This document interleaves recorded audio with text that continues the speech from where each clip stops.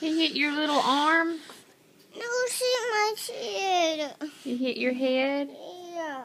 Well, he hugged you. He said he was sorry. He didn't mean to. Mm. You're mm-hmm. okay. Ow.